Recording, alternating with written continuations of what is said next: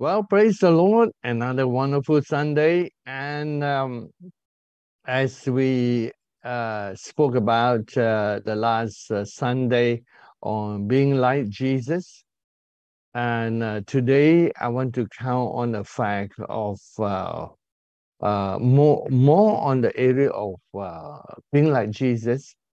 But being like Jesus is not just um, uh, growing to be like Him, uh, it is also important to experience what He experienced, except for the atonement experience. There is no way any one of us can do what Jesus did. And we definitely need his redemption of our lives and the things he paid a price for us so that we don't have to pay the same price. It is a gift given unto us. As we aim towards being like Jesus and walking like Jesus, we need to keep this thing in mind. There are some things in Jesus' life that we can experience like he experienced. There are some things in Jesus' life we can never do. And that those things are the things that he paid the price so that we don't have to pay a price. And that's the uh, joy of salvation that he has given to us. He did this so that we don't have to do it. There are some things that we can identify that he did it for us like uh, dying on the cross for us and uh, praying all the prayers for us, uh, resurrecting, uh, imparting his resurrection life to us. Uh, these two things are very clear the cross and the resurrection. But what is not reverent is Jesus' role as a high priest for us. He has already prayed us through there is no way that Jesus' prayer in John 17 will fail to come to pass. It is definite that it will succeed. Jesus will see his glorious church. The only thing that we look at as we compare Jesus' prayer for our life is how much we cooperate with him and how much of our free will are willing to line up. As a high priest, he cannot force us to make decisions that only we can make.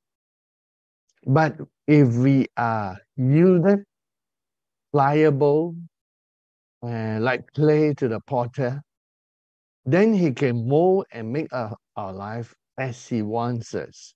Let us, for example, illustrate with two disciples. One is Judas the other is Peter.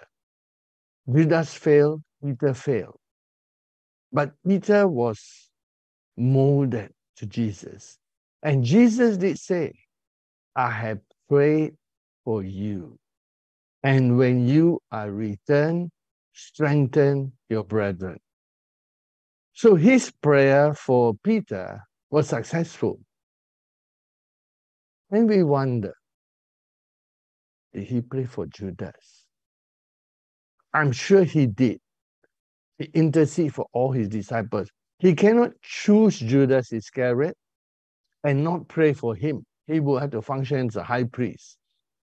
But yet, his intercession that was made for Judas Iscariot was not successful because Judas was not yielded or responsive to the times Jesus kept trying to warn him and tell him that he know what is going on in his life. Just like Jesus Christ died on the cross for all the sins of the world. Whosoever believe in him should not perish but have everlasting life. Jesus did it for every single human being.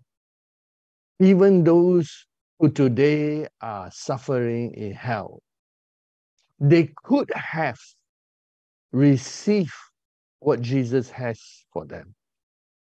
But they were not in a position to receive or too far away in their walk with uh, in the world and the devil for them to respond to God's call if they ever heard it, unless they're too far away in their walk to even hear God. But Jesus died on the cross for every human being that is suffering in hell today. They just did not make it, they did not respond. Jesus cannot force a person to receive what he has given to them freely. So, as we observe and look at what Jesus has done for us and emulate him, we also need to understand that to do the works of Jesus, which is this series on doing the works of Jesus, we need some things we can do because He did for us and enable us to reach the position that we cannot reach ourselves.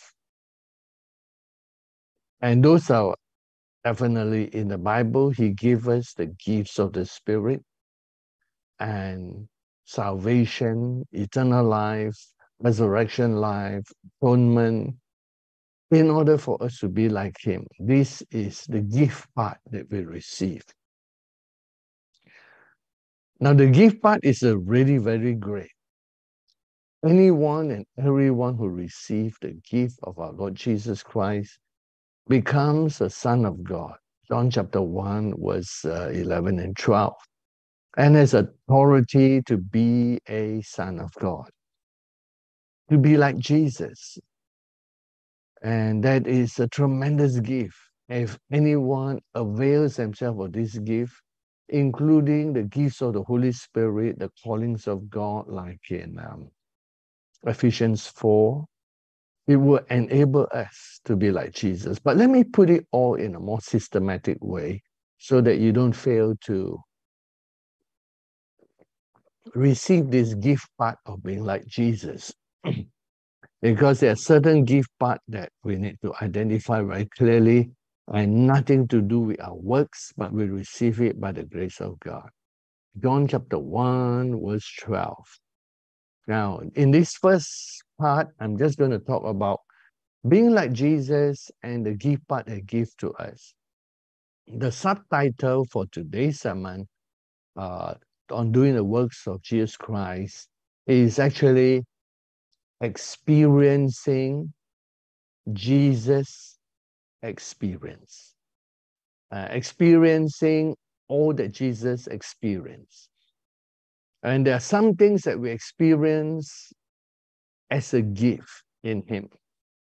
But there are some things that they need to go through the same process that He went through to experience it. So there are two major ways.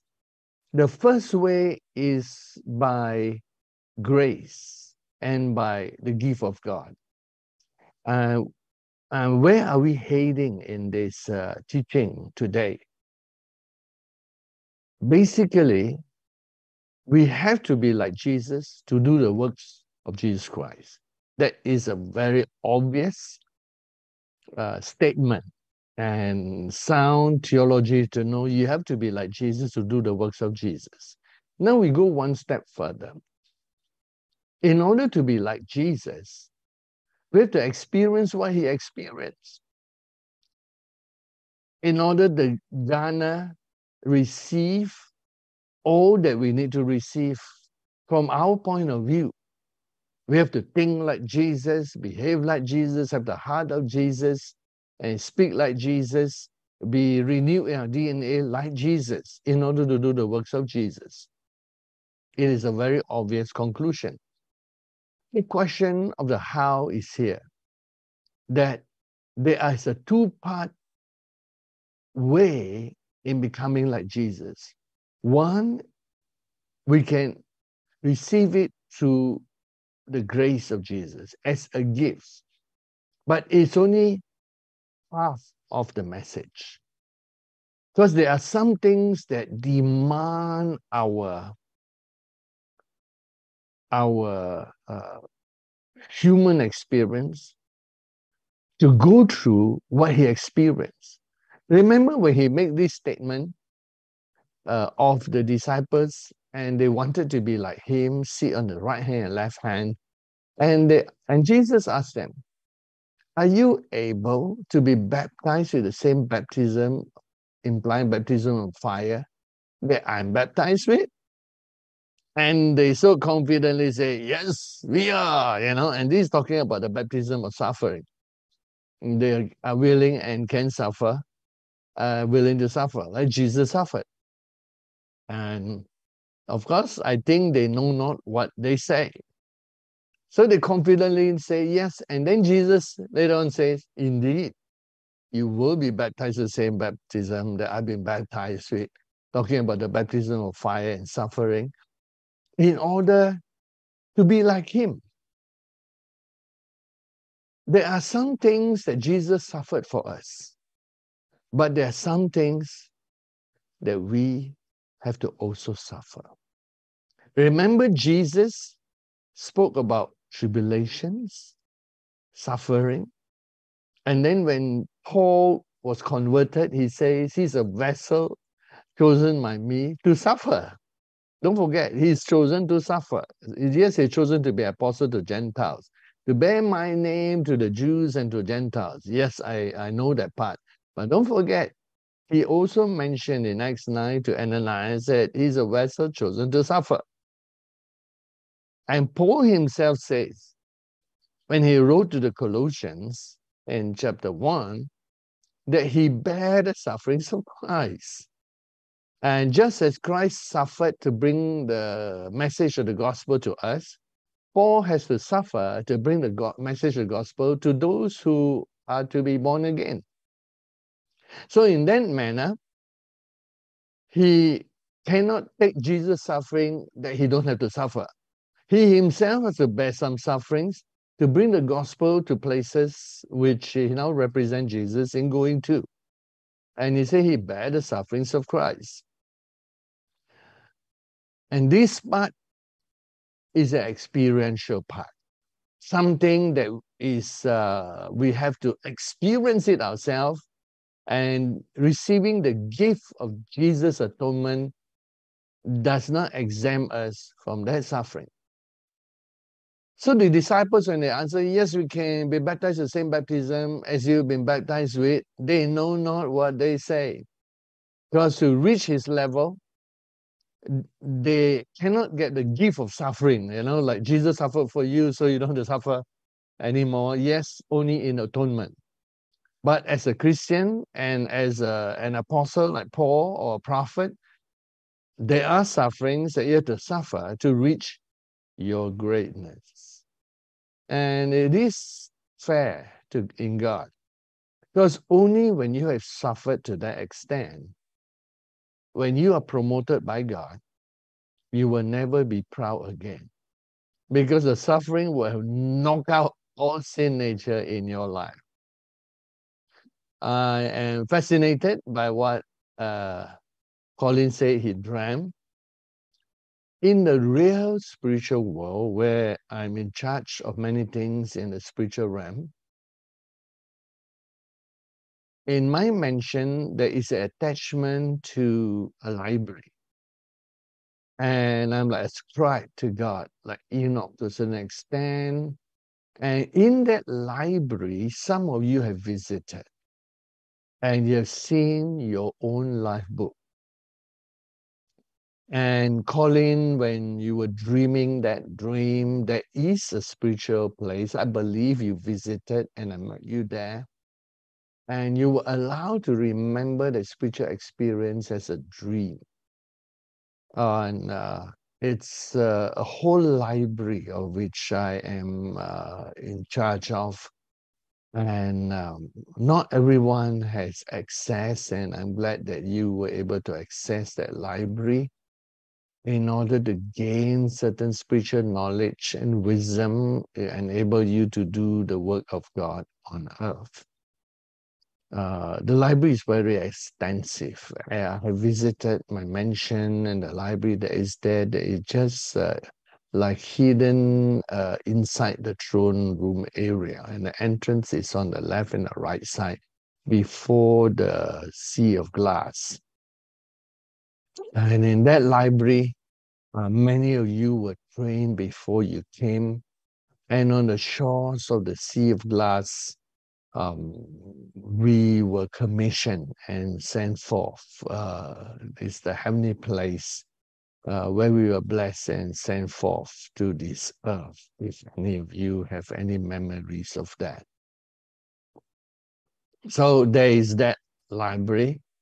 Uh, is a predestination that we have, and all things ordained to take place will, of course, take place. Now let's get to our topic and point about um, the things that we can be like Jesus, uh, a two point area. Number one is to receive what Jesus did for us as a redemption and atonement.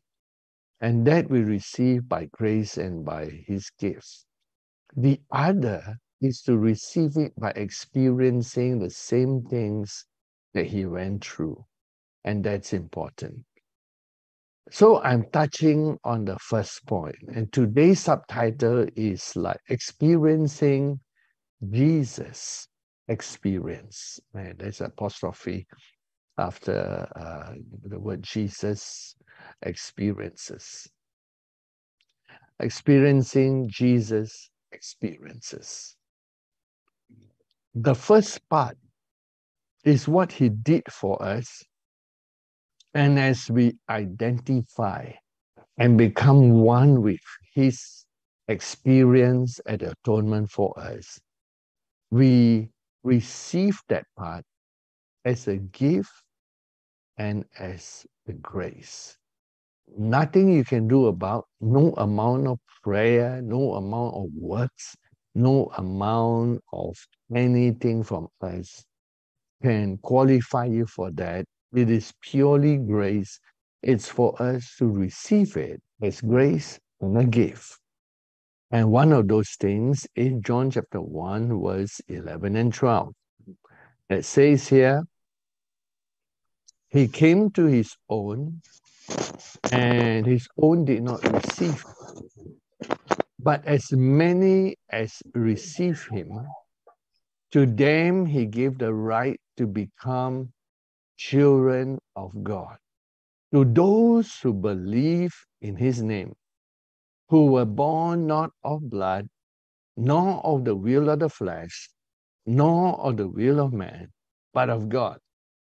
This part, to have the right to become a child of God, is a gift and is given to us freely. And here's the other part in the book of uh, Ephesians, chapter 4, verse 11, 12. As he ascended on high, he gave gifts. The Bible tells us. Um, he gave gifts to us. He gave gifts to man. The prophecy says in verse 8, when he ascended on high, he led captivity captive and gave gifts to men among the gifts he gave is in verse 11. He, he himself gave some to be apostles, some prophets, some evangelists, some pastors, and teachers. For the equipping of the saints for the work of ministry, for the edifying of the body of Christ, till we all come to the unity of the faith and of the knowledge of the Son of God to perfect man to the measure of the stature of the fullness of Christ. Don't forget, these are gifts Jesus stood in all five offices. He was apostle, prophet, evangelist, pastor, and teacher. Paul stood in three offices. He was apostle, he was teacher, and he was evangelist. Of course, he was also a prophet before he became an apostle. And originally, I have always thought when I was called in the ministry before this end time move, I knew I was like Paul called to be apostle and evangelist and a teacher. And I enjoy those ministries. And through time, I discovered that Paul in Acts 13, verse 1 and 2, was also a prophet. And I began to accept my prophetic calling as much as my apostolic. If you hear me from the early days, I used to tease that I'm not a prophet. You will never hear me say that again anymore. And um, and I realized that the apostolic includes the prophetic. That's why in the Old Testament there was no apostles. But the true apostle of God that is called uh, is also prophetic. And we grow up from the prophet's office into planting of churches. There are, of course, those who are prophets, like Agabus in the Bible in Acts 11, where he manifested and functioned, uh, who don't grow into apostolic, but they remain at the highest as a prophet. Kenneth Hagin was not an apostle, he was uh, uh, he was not a church planter and he was a traveling ministry. And Kenneth Hagin was a prophet and a teacher.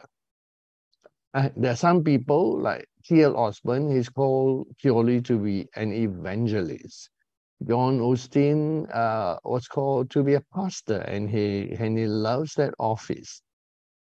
Lester Sumrall uh, would have been an apostle and he is a prophetic element also. He plants churches. So we do have in our modern days different uh, fivefold offices, same like in the Bible time. You have Peter, who was an apostle to the uh, Jews, and uh, then there is um, uh, John, the apostle, and uh, he went to several places to plant church. But John apostle was also John the prophet. He was told to prophesy uh, when he ate the little book in Revelation chapter 10 to many nations. And his last book was the book of Revelations. And that is a prophetic book that established the fact that he is a prophet. Jesus was all fivefold ministry. And I realized that at the end time, I never myself realized it was possible until this end time move. As God began to reveal more, and God says, you have to be like Jesus. And part of being like Jesus, since Jesus is apostle, prophet, evangelist, pastor, teacher, you have to also stand in all five offices. I say, I don't know of a man alive, a man or woman alive who stood in all five offices in history in the Bible in, um, in, in our modern era. I said, you know, I said, how is that possible? And I said, wouldn't it be too much? And that was in my early days in this end time move. As I began to accept that I was a prophet, uh, something that I used to joke about that I was not, and as a result, God tried to raise prophets around me to, to, to uh, uh, enhance and multiply the ministry because it takes all the five offices working together to reach that fullness. And um, funnily, I don't know why the prophets don't last long.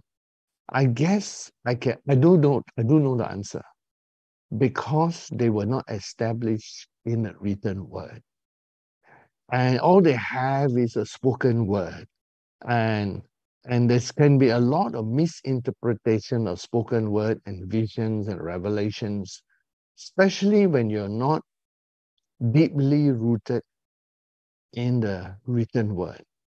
You see what the difference it makes when you're deeply rooted in the written word? Like apollos. The moment apollos received just a tiny little bit of new revelation, he could absorb it, expand it faster than any other ministry in the book of Acts.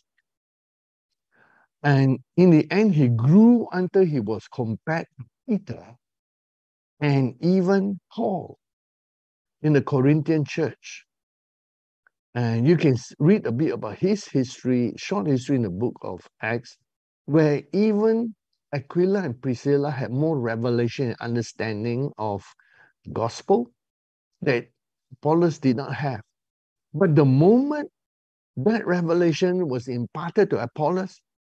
Apollos absorbed it, expanded it, got deeper in it, can argue about it deeper because he was solid man who the Bible gives these words, mighty in scriptures. That means he was very powerful in the written word. And I encourage each one of you that even in this end time when we see a lot of visions and revelations, don't neglect something that you can do. Whether it's uh, God give you a gift or not, you can become a master of the written word. All you have to do is read the Bible as many times as possible, study the Bible as many times as possible. That is not something that you're limited to by any gifting by God. It's limited to the fact how much you want to study the Bible and how much you love the Bible. Even when I was a young believer, I have a love for the word. The first thing I wanted to do was outline the whole Bible so I can remember it. And I did. I started. And then I read through the first time, I was so happy. Then I read through the second time, was very happy. Then I read the Bible in different versions. And now I have the Bible in my head, like a walking Bible. And I can close my eyes and think about each chapter. And I still, uh, there are some places that I don't have all the scriptures, but I remember that the first uh, memorizing that I did uh, was not just scriptures verses that uh, we were taught to memorize verses in my follow-up program, the Navigators pro pro program, and memorize salvation scriptures and basic scriptures. But I wanted to memorize the Bible. And the first book that I attempted was the Gospel of John. I don't know why, but uh, I chose that because it was more interesting to me. Over time, I found that uh, I did not have to purposely try to memorize. But by constantly reading the Bible, in many versions, I have a map inside me of where each part of the Bible is and what each part of the Bible says. Uh, like Apollos, it was something, I don't think it's a gift, but if you desire to have it, I can encourage you and pray that you would love the Bible as much and you can develop it. Whether you're apostle, prophet, evangelist, pastor, teacher, or none of the above, you can be mighty in the scriptures. What, what is to stop you from being mighty in the scriptures? After all, uh, some of you might be very good at dramas. You could tell me the whole story. And uh, you might be good at uh, certain books or, or gardening that you read about or something. So why not turn the interest into the Bible? And I always encourage uh, Bible students, especially those called to the ministry. I say there's one thing that you you need to have. Know the Bible like the back of your hand. The sad thing is most people don't even know the back of their hand. But when you know the Bible like the back of your, ha- your hand, as the English expression goes, whether you're a prophet, evangelist, pastor, teacher, or apostle, it will definitely make you stand head and shoulders above everyone else in that same calling. You will be like Apollos, who received the same amount of revelation, yet you're mightier than everyone because mighty in scriptures. So there you go. We're talking about some things that you can do on your own and not the gift of God. But God set about five four offices. And in this move, it took me some time, especially when in 2013, with the failure of the uh, Seven Thunders, uh, and he did not discern uh, that the angel that he saw towards the end on the last Friday meeting before the 23rd of September. So 23rd is a Sunday, 22nd uh, would be Saturday. So 21st of September on the Friday meeting. Uh, reported by some of the leaders for me, it's the most oppressive all-night prayer. Uh, anyone gone through and people were asked to prophesy and they did not succeed well to see in the spirit now. And uh, because he did not discern that the rainbow looking angel was an angel or light from Satan. Having open visions, I realize now, doesn't give you an advantage over another person who does not have open vision. So some of you who think that you need open visions to reach your fullness, you are mistaken. When God gives gifts, there are different type of gifts He gives people. So happened that the former seven thunders uh, was struck by lightning, and it remained that ability remained. In my ministry, I met three other people with open visions. One was a lady, and when you see in the spirit, you see things that you can't describe. And some people thought that she was crazy. but it was in my Singapore ministry that I met her. And I found she was quite stable. She just didn't have enough word to explain. They, they have a written word to explain what she was seeing. And so as a result, uh, she would be, I mean, people thought that she was mentally troubled. And uh, another was uh, more a child who had it for some time, but for some reason must have lost it because uh, the parents didn't allow the child to grow in that. And uh, as a result of unbelief and rejection of the gift, got stopped another person had it when uh, in early days, but us couldn't take it and was frightened. And when we reject the gift, the gift stopped operating. Open vision is just one of the 12 gifts of the Spirit. is called the gift of discerning of spirits. And in our modern era, the Lord has taught me how discerning of spirits work. And I, I am able to help a person into seeing in the spirit and I realize seeing in the spirit got different degrees. Uh, there is those that see in the wavelength of the natural eyes, and that will be like open vision.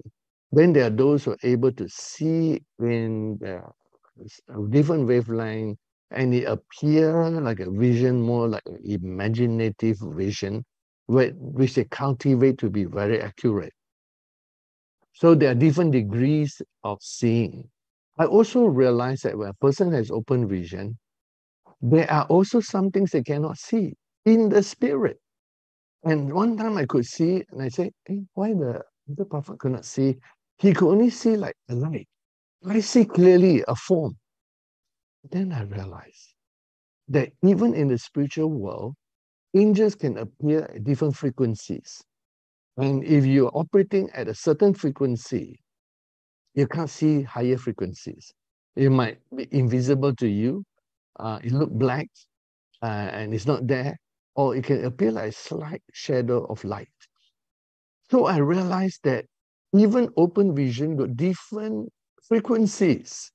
And that was an interesting thing. I, I love to talk more uh, about experiences and my analysis of experiences based on the Bible and um, uh, when we have time and, and when your question and answers are in the area.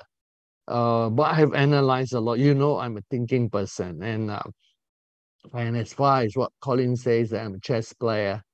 Uh, since I'm born again, and since I went to ministry, I've never needed to use my skills as a chess player to uh, manage my life. Never. I've uh, surrendered that all to the Lord. And uh, to me, uh, you operate in the spiritual it's a lot of mercy, forgiveness, and uh, you you don't use those skills. Those are more subconscious, and perhaps uh, the best training in chess is uh, visualization, where uh, you could visualize uh, a good player will visualize usually eight to sixteen moves. No, we couldn't see under sixty-four moves or hundred moves. No, we only estimate we can see like um, when you're playing chess, you can visualize what the pawn uh, formation is like, uh, how I want the end game will be like with different pawn formation. I create the pawn formation by destroying and, and, and playing. or, or what kind of pieces I will end up with. And uh, if I don't want a draw, I will make sure we don't have opposing bishops. Like, you know, the bishop can be on a white square or black square.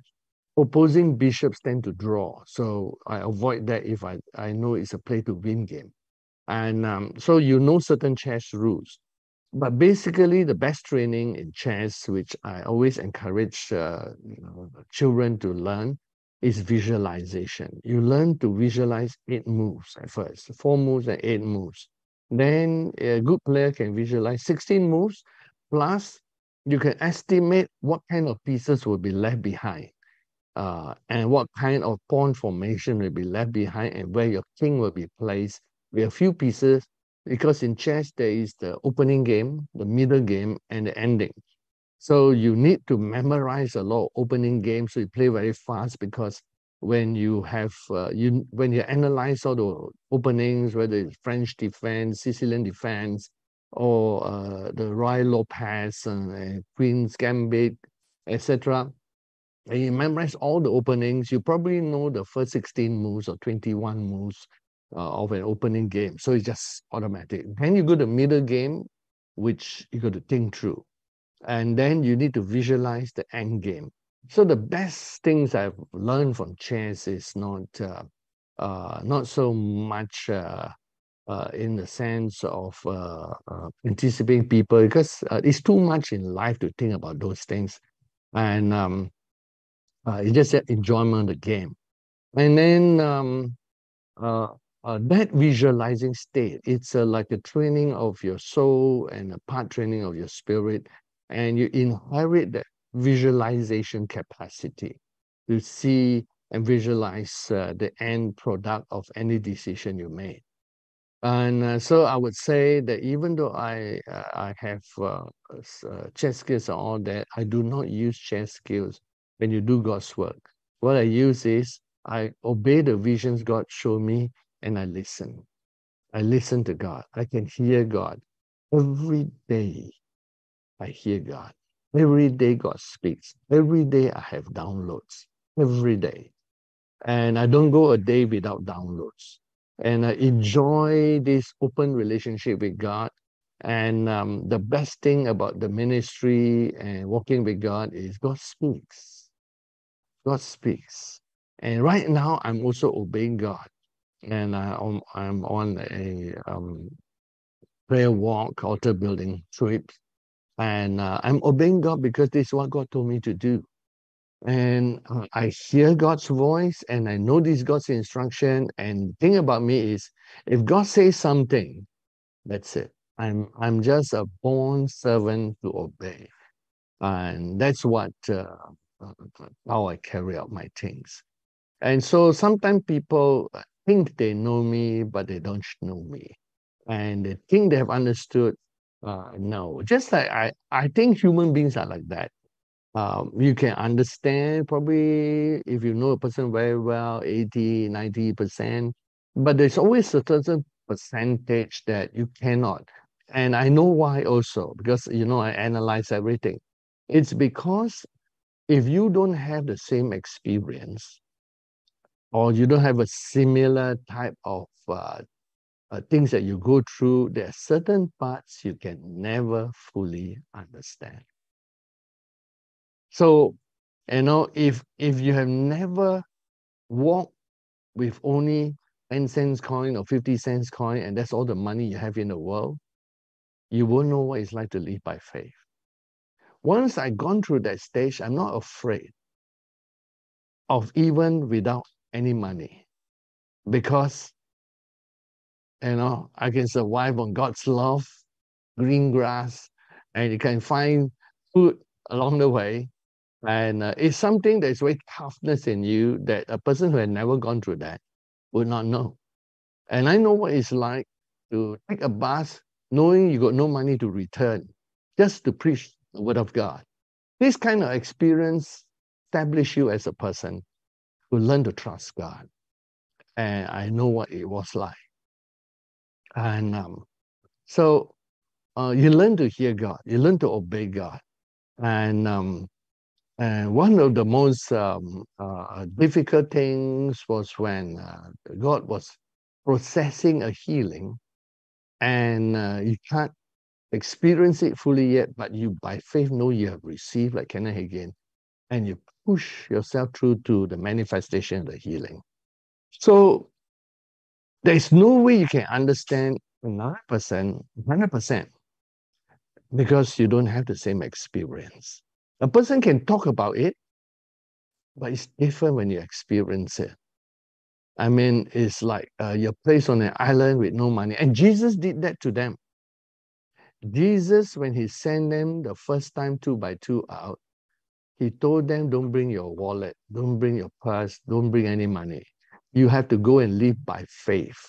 That means you go to a certain town. Uh, if you're successful in the gospel, you enjoy the hospitality of the house that opens to you and preach the gospel, then move on. He wanted them to live by faith. Now, one fine day, the future, and not now, after training everyone, I will be training millions of fivefold ministers. And um, uh, after training them, uh, there will be one a time when God will send them out without any money. You just walk by the power of God, two by two. It will come, the day will come. But it's sometime quite a distance in the future. And the other thing is that uh, through over 40 years of ministry, I've experienced all the 12 gifts of the Spirit at different times. And I would say that I know why God uh, trained me so hard is so that I can help everyone to experience different of the 12 gifts of the Spirit, uh, of the nine gifts of the Spirit uh, that God gave to you. So whatever gift level you have, uh, with tutoring and with Bible training, I would be able to help you to reach the fullness.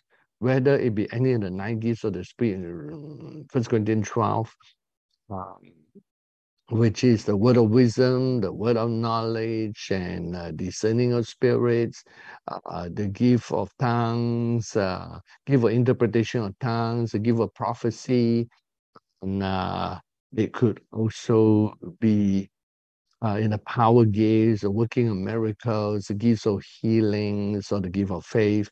I could describe and help uh, each one of you whatever gifts. Now, we cannot give you the gifts because gifts come from God. But whatever gifts God gave to you, you would be able to experience it. And I realized that open vision is just one of the nine gifts. It's called discerning of spirit. So uh, Kenneth Hagin at a certain point in his life had that and uh, in his life. And I realized that having an open vision does not protect you from being deceived. And it does not protect you from uh, wrong conclusions, wrong interpretations. And may I remind you again, at the very beginning of this move, when the prophet was sent to work alongside me, the Lord revealed to him that there is a right side he cannot see, he can only see the left side. And the right side got a lot of misinterpretation, wrong things, and wrong things inside. And um, and uh, when I analyzed the past downloads and all that, I realized he was supposed to be trained uh, for three years before he's fully released. And uh, part of it, you know, I always accept my responsibility on my part is because um, I keep, you know, rejecting the prophetic call myself uh, if they accepted that I was also a prophet and can train them, it would have been a better uh, perspective. But yet, each person's failure is their own responsibility in God. But I realized that uh, after you know prophets come and go, um, I realized that we need to pray, train good prophets, and if they learn how to operate with the other part of being mighty in scriptures, they could last longer and be used greatly by God and um, so they won't step out of their bounds. And that can happen to any ministry. It could be a, a teacher who began to be big-headed and think they're the only one who teach like they can teach. Uh, it could be an evangelist who experience a lot of miracles and think they're greater than everybody else. You know, just like it can be a prophet who think they're the only one who can hear God.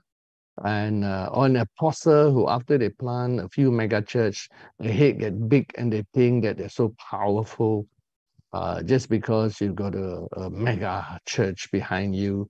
Uh, or it could be, you know, even a simple pastor who's successful and popular and well loved by people. Anyone can become proud and uh, be rejected by God. Mm, and so we all need to walk with humility in the Lord and not walk outside our domain and understand that. And basically, you know, I, I'm glad for this move. And, and those of you who know me, you know my nature, and I'm a very simple person. I enjoy simple things. Um, but when it comes to authority spiritually, authority of Bible, I know the God that I serve. I hear. And uh, so once in a while, spiritual authority get challenged and it's said, and um, I know how to put a prophet in a place. I know how to put a apostle in a place, but I myself recognize that I need to work with other humans, which I'm glad we have a sort of board that we can talk about, you know, good friends and colleagues in the Lord. And those of you that work closely with, you know, how uh, I never use spiritual thing to lord it over you. I always say, you know, let's uh, speak on an equal basis. Do you hear the Lord? Do you hear the Lord? What did the Lord saying? And um, uh, but like Paul, when he wrote his when he wrote his epistles, he says he's an apostle called by God and not by man. He know where he stands, and um, so it's important. And I want to make that clarification and also talk about my own uh, failures where uh, I think my main failure was I did not accept that I was a prophet. And um, as a result, um, uh, the Lord hear my words of confession and did not uh, uh, uh, work with me in this manner because God cannot force you to do what you yourself do not accept. But in this end time move, I was surprised by the fact eh, I was already very happy with being like Paul and uh, having the three, four, three of the fivefold ministries. And then in this end time, move, God says, you have to stay in all fivefold to be like Jesus. I said, whoa. You know, to be one is really wonderful, to be five. And also because I know the price you have to pay and the amount of time you have to spend with God to do all five. And I discover why.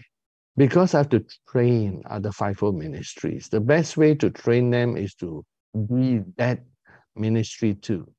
So if you're not a teacher, you cannot train other teachers. If you're not a apostle, you cannot train other apostles. You're not a prophet, you cannot train other prophets. We need millions of fivefold ministries in this end time to be trained and sent forth. So I believe God knows best, and God knows uh, uh, how to raise different people. Although sometimes we might disagree with the leaders that God raised, uh, and I'm sure a lot of people out there who says, "Oh God, not him. Why don't you use somebody else?" I'm sure there will be people like that, and I can only say, "I'm sorry, God just chose me, and I'm just doing my best here to do a good job for God, uh, for the end time church."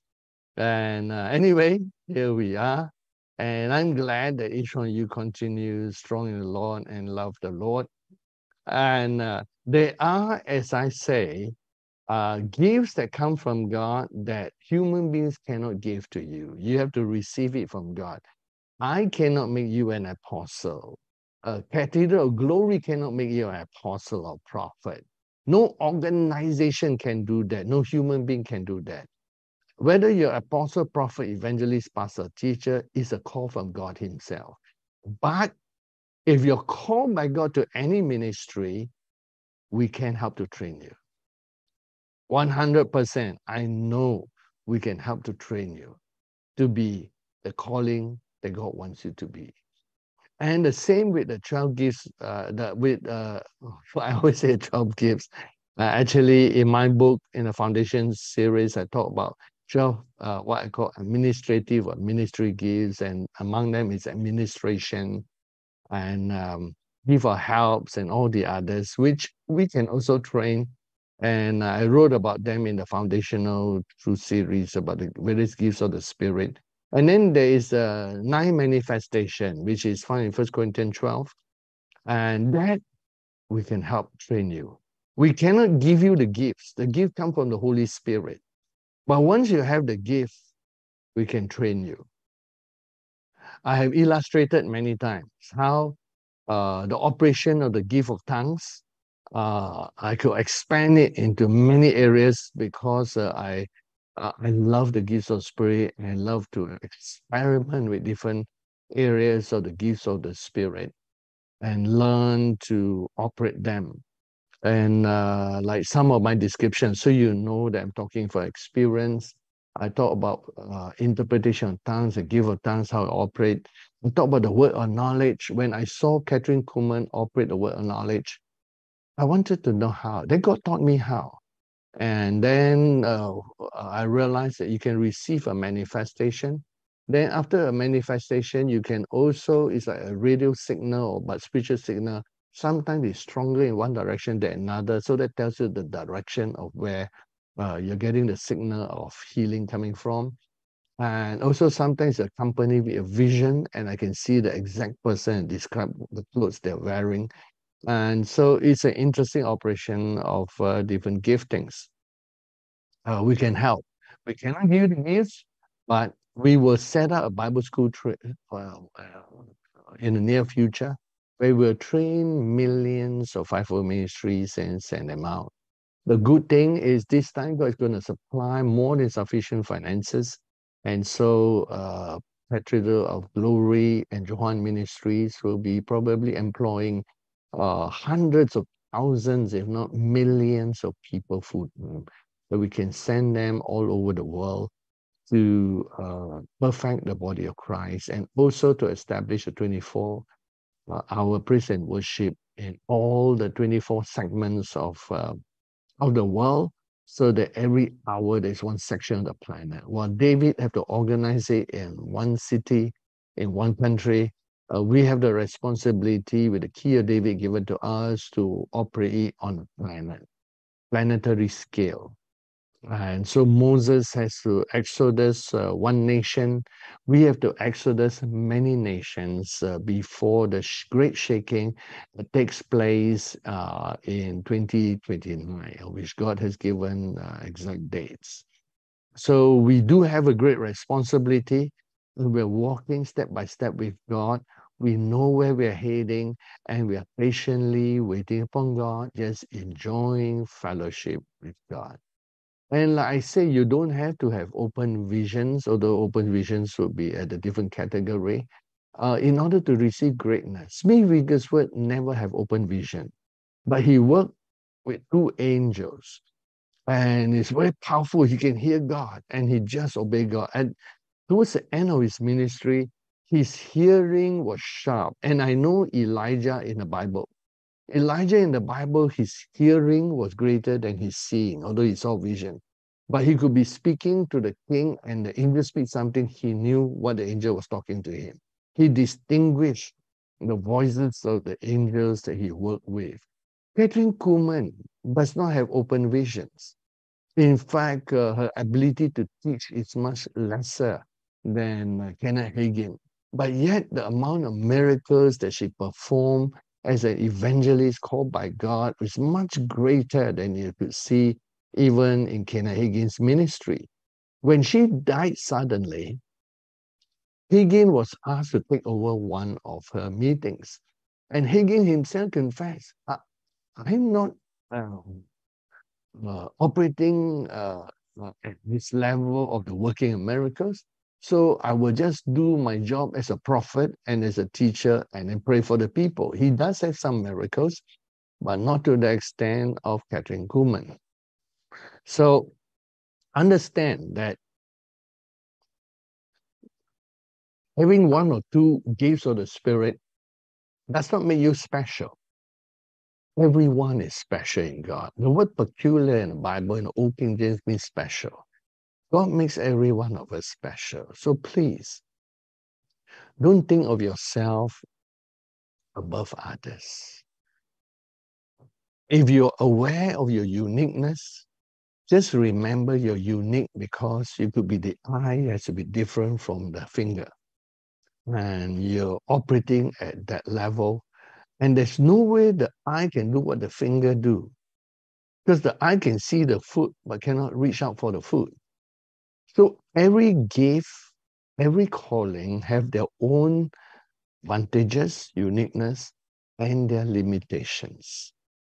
Once we recognize the limitations of each one of us, not weaknesses, limitations, is so that we can all function as a body of Christ together and achieve harmony and achieve the works of Jesus in a way that Jesus meant it to be achieved.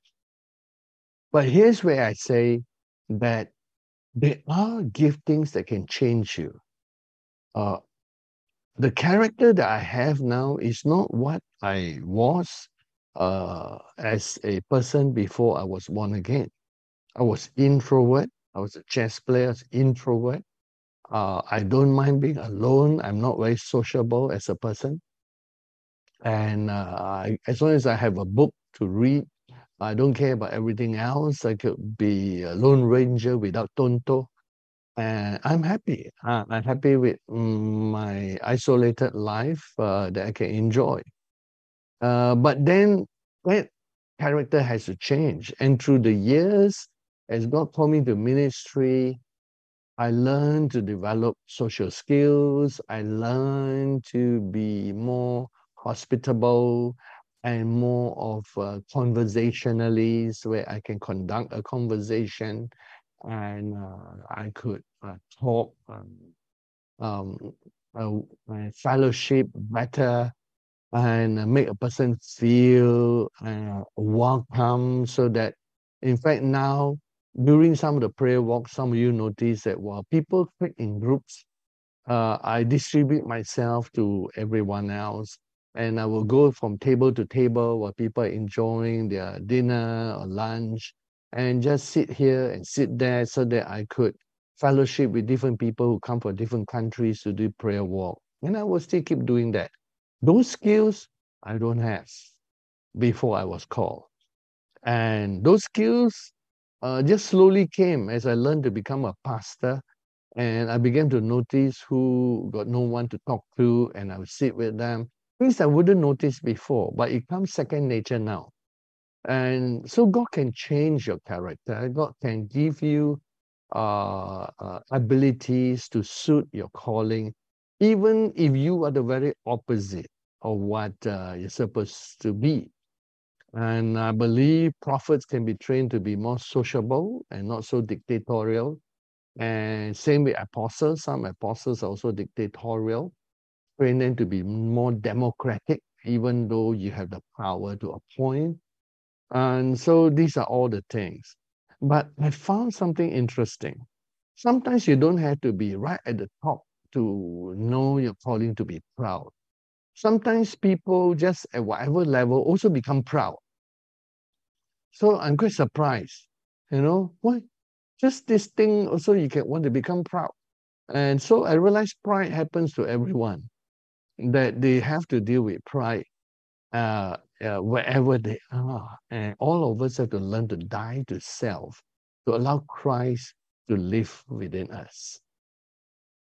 Well, the first point I'm speaking about is there are these uh, uh, fivefold offices, gifts, there are these uh, First Corinthians 12, nine gifts of the Spirit, and there are these uh, Romans 12 giftings or administrations, gifts of help, and uh, gift of giving and many other of these gifts I identify in my foundation book series on the gifts of the spirit. And these are all paid for by Jesus. You don't have to struggle to receive them. You don't have to qualify yourself to receive them. They are yours because God has predestined you to manifest certain gifts. And when we are in a fivefold ministry, God will give you the nine gifts of the Spirit in different combinations to qualify you for your fivefold offices. Paul mentioned the signs of an apostle, And so we realize that apostle need our gifts to back up their ministry, and a prophet need revelation gifts to back up their ministry.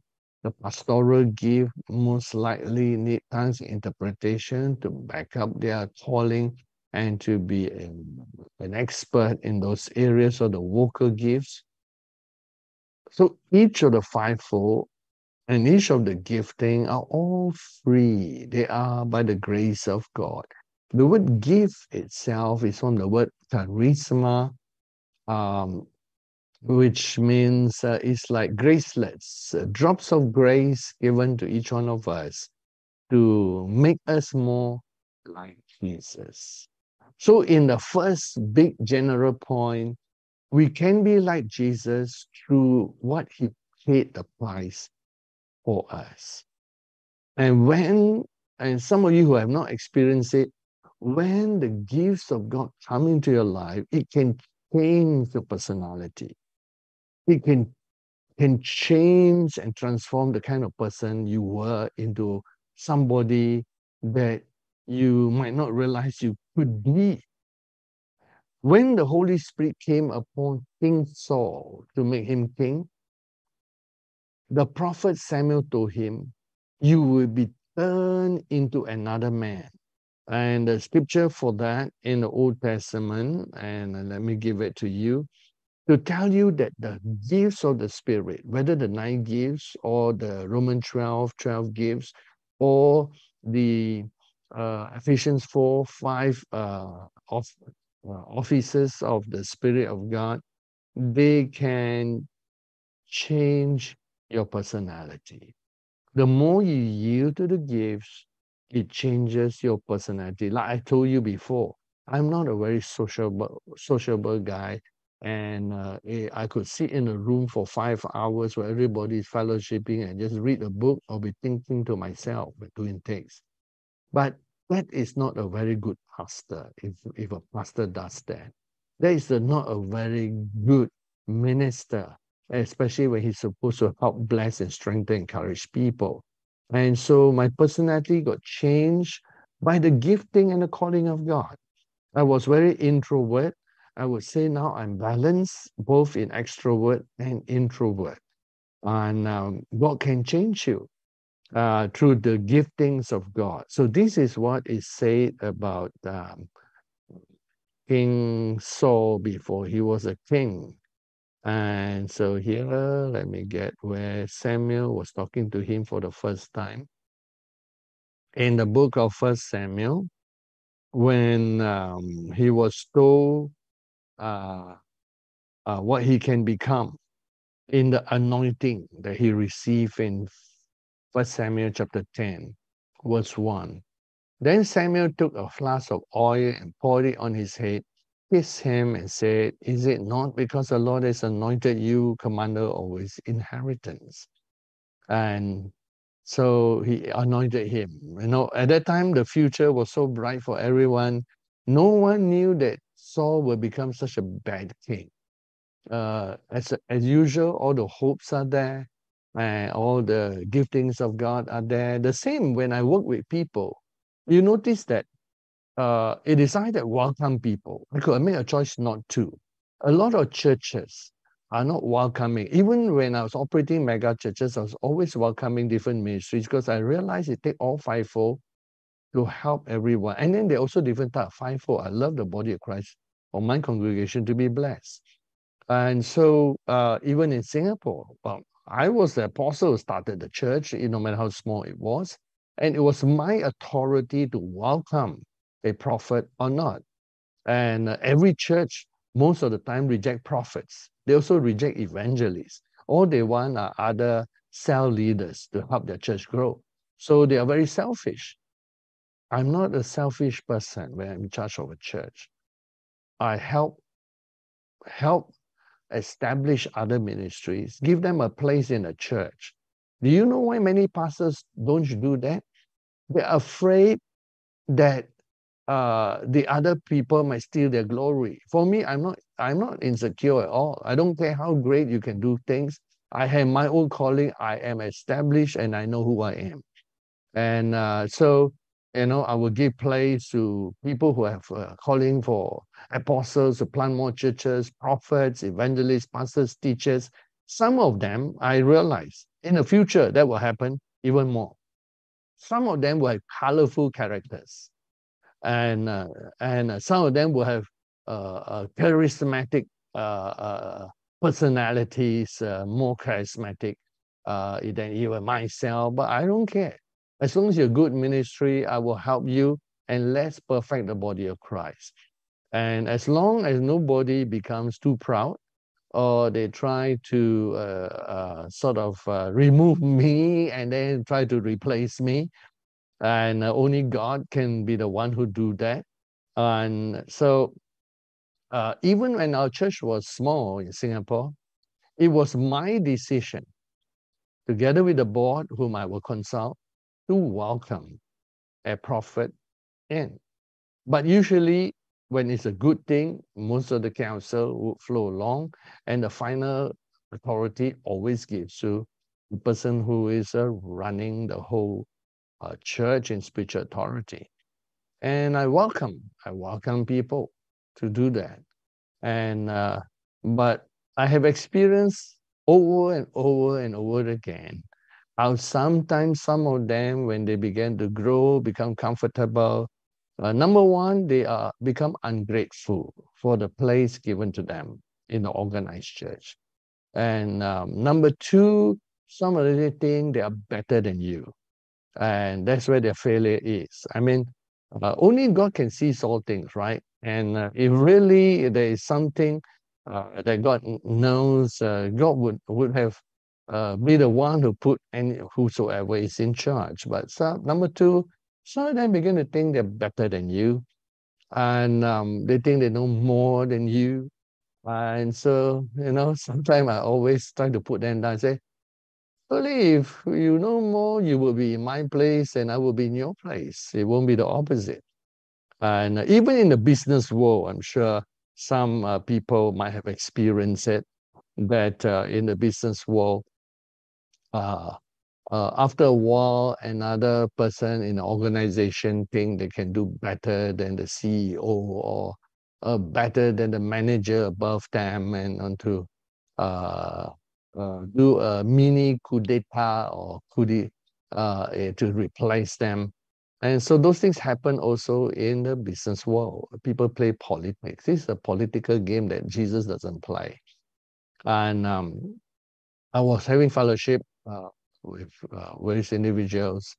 And then I also told some individuals, I said, some people don't really know Jesus. If you if you know the real Jesus and you watch from the Bible, I read this gospel thousands of times, and I've also fellowship with Jesus in the spiritual dimension. You don't know Jesus, how strict he is in certain things.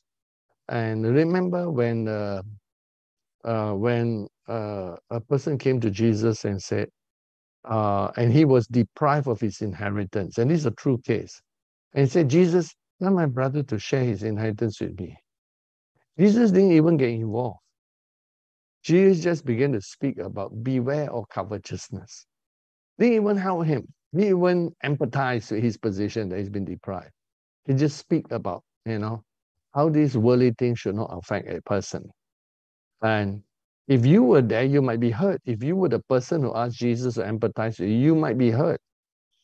And uh, many people think that Jesus show uh, empathy at all times. There are some times when Jesus cannot stand worldliness and he speak very strongly against it. And so when it occur at the wrong time, you might get hurt. Remember how Mary and the brothers were trying to get Jesus' attention while he was in the midst of ministry. Jesus put them down. Uh, if they are not spiritual enough to understand Jesus, they might get hurt. I mean, personal feelings and emotional feelings. And I know a lot of you, if you actually live and eat with Jesus for three years, you might be hurt by Jesus. Because Jesus is not the person you think he is. You misconstrue who Jesus is. You paint a picture of Jesus of not the true Jesus, the Jesus you want. But 24 hours a, a day, you call upon him and say, Yes, What do you want? Oh, yeah, I love you. Is this the picture of Jesus who walked on the earth for three years in that ministry, uh, 33 years? No. There are some times when Jesus is in certain position and he just tell you off. And you're stunned. Oh, Jesus can scold me. I thought Jesus never scold. The version of Jesus I have never scold anyone. But Jesus rebuked his disciples many times and said, when he says in the boat, beware of the of the leaven of the Pharisees. And the Pharisees then say, Why? Are we lacking bread? You see how silly of them? They think about carnal bread. Is it the Pharisees open bread shop and Jesus say, Don't buy bread from them? No, Jesus was speaking spiritually. And then when they didn't understand, Jesus scolded them. Jesus says, uh, you know, I've been so long with you, you still don't understand what I'm talking. I'm not talking about leaven in the bread. I'm talking about the hypocrisy of the Pharisees. Watch out for them. And he says, you know, are you still afraid not enough bread? In the feeding of the 5,000, how many loaves are left? And they told, in the feeding of the 4,000, how many loaves are left? Well, they got a rebuke from Jesus. If you stay 24 hours with Jesus, I can guarantee you, there are sometimes you might get hurt, but it's your fault, not Jesus' fault, because Jesus is perfect. You can't blame Jesus. So some of you who are listening to this word have a wrong impression of Jesus.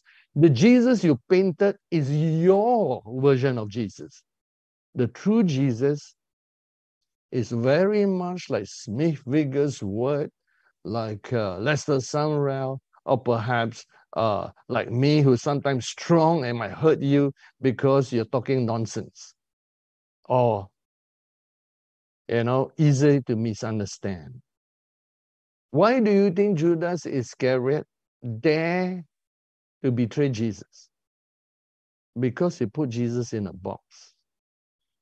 He was hurt when Jesus did not do something about the woman who spent so much money on this perfume. And then he said, Oh, this perfume, probably one whole year or several years of salary, this woman spent. Shouldn't the money be given to the poor? What clever to argue logic. But in his heart, he was covetous for the money. And Jesus says, this woman did what she did as a, these my words, as a prophetic act for what is to happen. And God is allowing this. And then Jesus said, you always have the poor. We're always helping the poor.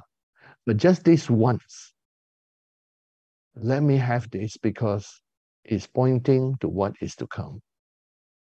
And Judas got hurt. And from that day onwards, he sought to betray Jesus. So the version of Jesus you have might be an impractical Jesus. Come on. Three years, you don't think they get a scolding? Three years with Jesus, you don't think they get a rebuke or correction? And sometimes Jesus do things, don't tell them. Because sometimes Jesus speak parables. And then when they came to Jesus in John 4, Jesus says, I have food to eat or we should donate all. Then they ask around, who tapao? He sent us to get food. Now we bring food. He don't want food. I don't like this master. See? I can give you many Bible incidences where over three years they get rebuked, they get scolded, but of course, Jesus never lost his temper. But I can tell you when you work with anyone 24 hours a day or stay under the same roof, there will be rules, there will be things that you don't cross a line. And you cross a line, Jesus himself will scold you. So don't paint a version of Jesus that is your own. be humble, and accept that in true reality of life, day to day, you might get scolded because you make mistakes. It's part of a human condition. We are not in heaven. Like heaven is a bit different. When in heaven, you can transmit things by thoughts and you have perfect understanding. But on earth, where people cannot understand everything, sometimes Jesus doesn't explain everything because the, the apostles are too dull to understand. Or sometimes he don't explain because he want to test them. Remember in the feeding of the 5,000? He asked Philip, Philip, since you suggested that uh, talk about these people's need, uh, why don't you feed them? And then Philip calculate. Of course, they don't have a calculator. He calculates his mind, or if they have this uh, baskets or whatever. You see, even if we have that much money, we cannot buy enough bread for these people. Plus, I don't know where to get the bread. So Jesus allowed certain situations, puzzle them for them to learn something. We learn through experience. So don't whitewash your own version of Jesus. Accept that in this life, the way God used different men and women of God is the way God needs them. You need a, a, a military man who's trained in military strategy and organization like Moses to lead the exodus of his time. Without the discipline that he has, he cannot lead 3 million people out. And you need a creative thinker like Joshua, who is a, a trainee under Moses, to lead the battle to fight for the land of Canaan. And from the early days, even before they reached the land of Canaan, he was the one Moses always asked to lead the, the campaign, to fight the war. Although Moses himself is a military man who know how to fight. The Bible tells us that uh, he was strong in word and deed, and uh, Josephus write about his military campaigns in Ethiopia. He was a brilliant military commander, but he led Joshua experience. See, part of our thing. Sometimes experience is necessary to train a person. So Joshua is going to be the one who lead the campaign after Moses finishes ministry.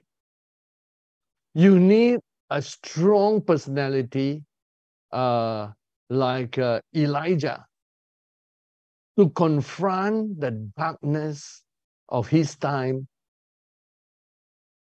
and the most wicked king and queen that exists in all of Israel, Ahab and Jezebel. And Elijah was a no nonsense, no joke kind of person. If you were under Elijah, like Elisha, some of you might not survive for 10 years. Elisha did. So sometimes we whitewash things, you know, and we put personalities into Jesus or other men of God without realizing that in real life, these are the people who you might find very hard to work with. But God is wise. He chooses different people for different things. He know what kind of character is needed. Like for Apostle Paul, I think Apostle Paul was a much more strict character than Apostle Peter. Apostle Paul was a no-nonsense person. You can tell from the way he argued with Barnabas about Mark. But you need a character like Apostle Paul to carry the burden and the work that is necessary.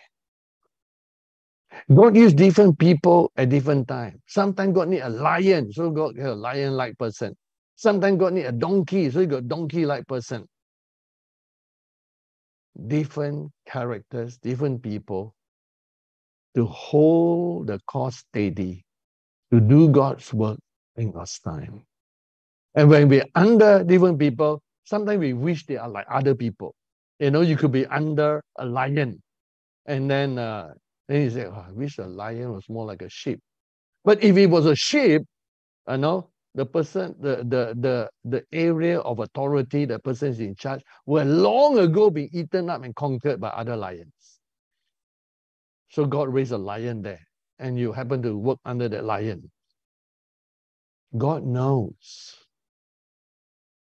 And the personality is not there to just socialize. We are here to do a job. We do our best being pastoral, but sometimes we don't have enough time to what I call lay play. We got more time and we need to pray, pray. So God used different personalities for different things. And you can be sure God does not make mistakes. When He chooses different people, even yourself, for doing different things, God does not make mistakes. He knows your DNA, He knows your capacity, He knows your strength and weakness, and He chose you. So remember,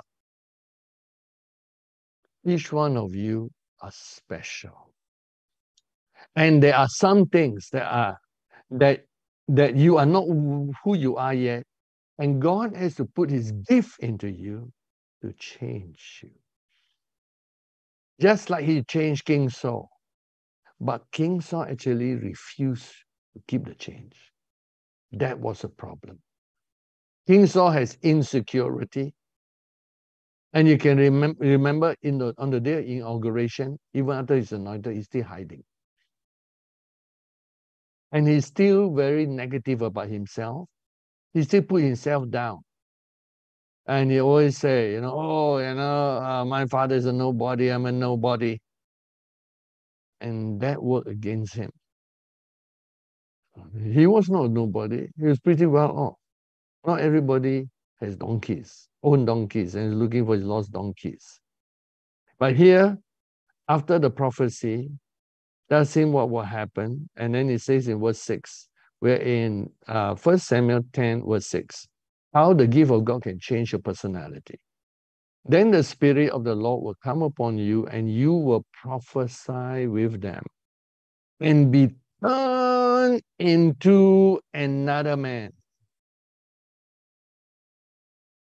Say, I don't know, I didn't know the Spirit of God can turn me into another man. Then, if he want to turn me into another man, why didn't he choose someone with a characteristic? Let's say for myself, I will not succeed if I'm an introvert. I have to be more extrovert and proactive. But I was willing to change. I was willing to let God change me to whatever He wants me to be. I had to be proactive, uh, to be more pastoral, to encourage people who are shy into the ministry God called them to be. And God changed me. I allow God to change me. If I kept my old personality of being introvert, uh, no social skills, and not caring about people around me, but just thinking only for my own things, I would not succeed in the ministry. I have to be willing to change and realize I need to change. And indeed, God has changed me. I look at my personality now compared to my personality before the Lord called me in ministry. It's like two different things. Saul was not willing to change, to be more kingly, to be more honorable. Because Saul is the one who is quite dishonorable. And you can see how he speak about his own wife to Jonathan. And um, has to be more kingly. And he changed. He became a bold person with the Spirit of God. King has to be bold. You don't want to have a cowardly king. King has to have a lion heart.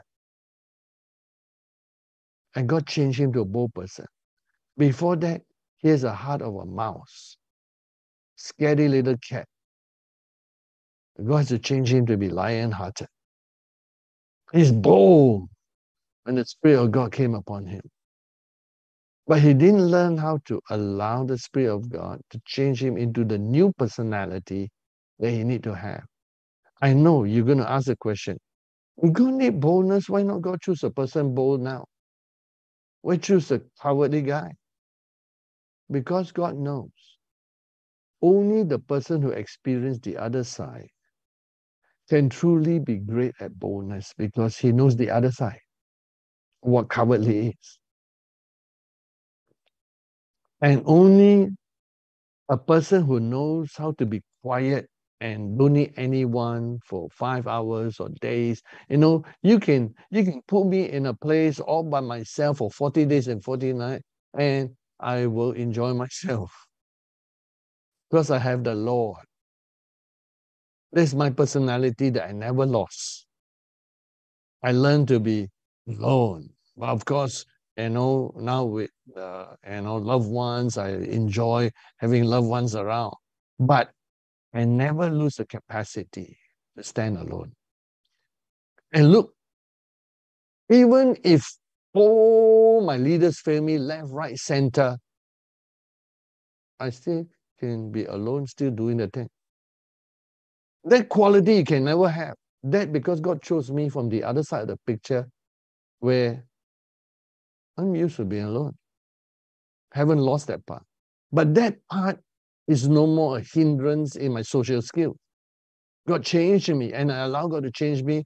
And I realize I need to raise other leaders because you can never change the world alone by yourself. Even if we say it takes only one Jesus to change the world, that one Jesus need to raise uh, 12 uh, disciples, one faith, got 11 plus 70 others, plus he appeared to over 500 people.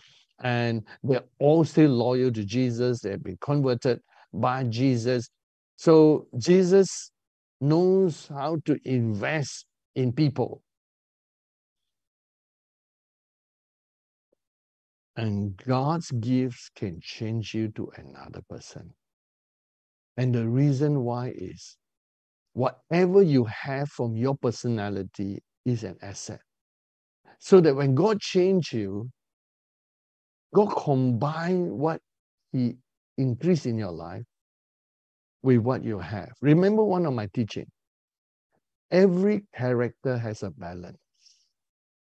The lion and the lamb. You need to experience both to be balanced. The horse and the mule. One too slow, one too fast. You, you know both sides, you're balanced. And there's such a thing that God needs in our soul. So don't hang on to your own uh, idiosyncrasies of your character. Allow the Holy Spirit to change you through his giftings to become another better person. Yes, the gifts can change you. It changed Paul until, do you know, talk about vengeance is the Lord's? Paul was a very action uh, vengeful person who take revenge for God. And in fact, he said when he when he uh, imprisoned the Christians and all that, he thought he was serving God. He imprisoned and killed. When when uh, Stephen was being stoned, Paul was holding all the clothes of the people, encouraging everyone to stone, stone him. Kill him. That's the kind of character Paul is. In the end, Paul became a person that is very kind and uh, always want to spare the life of people, opposite from who he was as a natural person. But he had this in him where he would kill the person easily. Think about King David. King David has to kill Goliath to be a hero, and he had fought many wars, he shed so much blood. And God says, because you shed so much blood, I don't, don't think you're suitable. You're more man of war, not man of peace. And uh, your son will be a man of peace who does not know any war that I will raise to build a temple. But he can't help being a man of war. You have to fight a war to establish the boundaries of your country so that the other countries don't come and attack you. So was God pointing to his uh, weakness as a military uh, general that will wage war? It can't be because if David didn't kill, Goliath wouldn't be killed, nor would all the other uh, uh, people who fought with him. He has to kill in order to establish the country against all the others. But yet, his very killing prevented him to be a man of peace. Although he has a peaceful nature, as you know, he he wanted to settle the civil war with um, the uh, uh, other general, and then Joab go and murder uh, the other general out of uh, revenge for his uh, brother who died in the civil war. Asahel was his name. And uh, Abner was the name of the other general. But David had to fight and shed blood. Solomon did need not have. And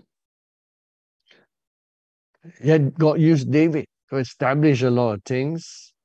And um, in this prophecy about Saul being turned into another man, look at verse 9 in, in 1 Samuel 10, verse 9. So it was, he turned his back to go from Samuel, that God gave him another heart.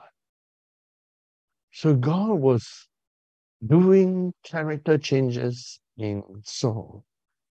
The only thing it did not take, Saul keep going back to his old old self. He did not allow God to change him. In order to do the works of Jesus and the greater works of Jesus, we must accept all the gifts that Jesus has paid his precious blood for whether it be the fivefold gifts, the ministry, fivefold gifts in Ephesians 4, the ministry gifts in uh, Romans 12, the nine gifts of the Spirit in 1 Corinthians 12, we must accept the gift God gave us, including all the gift of resurrection life and eternal life and, and authority to become the sons of God. We must receive all those gifts, but not just receive and have them. We must receive those gifts and allow the gifts to change us. You know, Peter, who always uh, was like a horse too fast, and then sometimes when he react, he turn the other opposite, and um, in the last test that he had when he denied Jesus three times and Jesus healed him in the encounter on the beach when he asked him three times whether he loved him, Peter became a different person in Acts chapter 1, chapter 2, chapter 3, chapter 4, chapter 5, chapter 6, chapter 7, chapter 8, chapter 9, chapter 10. And then in chapter then, when he was asked to go to the Gentiles, he was quite concerned about the Jews who were anti Gentiles. And in Acts 11, he did not say the same way like he said in Acts 2. In Acts 2, when they say, What must we do to be saved? He says, and be baptized in the name of the Lord. In Acts 11, he says, Acts 10 and Acts 11, he says, Can anyone stop these from being baptized? Suddenly, he don't have so much authority. He asks a question instead of commanding them because of the Jews who were anti-Gentile. He knew that going to the Gentiles would stir up the Jews. I mean, I love the Jewish people today. We are like their brothers and sisters and cousins to them. And they indeed, because of them, the gospel came and then came to us Gentiles.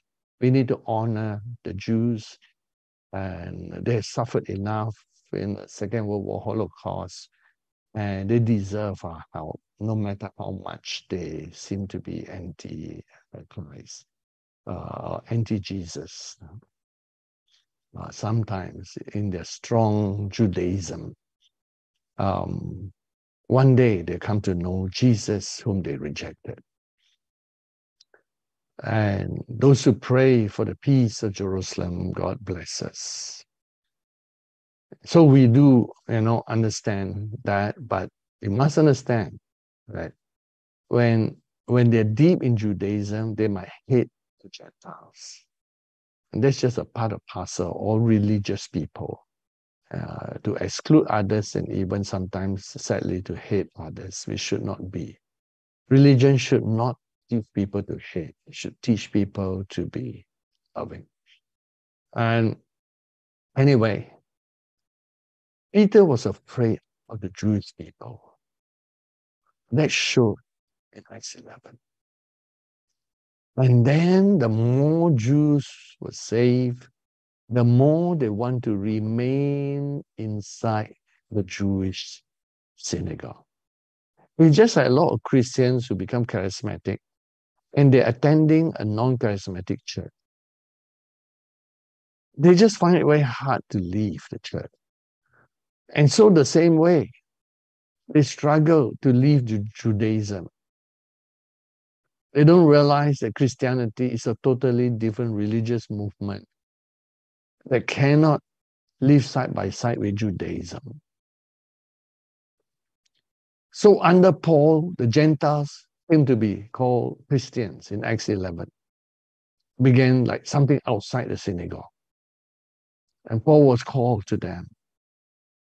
But you notice, through time in Acts 15,